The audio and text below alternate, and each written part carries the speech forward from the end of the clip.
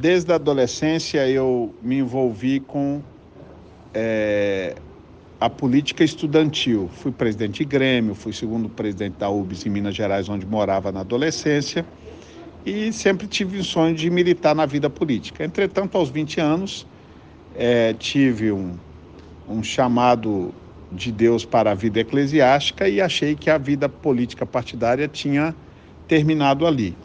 Mas ao conhecer o pastor Silas Malafaia no ano 2007, comecei a trabalhar com ele em 2009 e em 2013 ele me fez um convite para disponibilizar meu nome para ser o candidato apoiado por ele a deputado federal. E de lá para cá, disputamos a primeira eleição, ganhamos em 2014, tomamos posse em 2015 e estamos no segundo mandato servindo como deputado federal.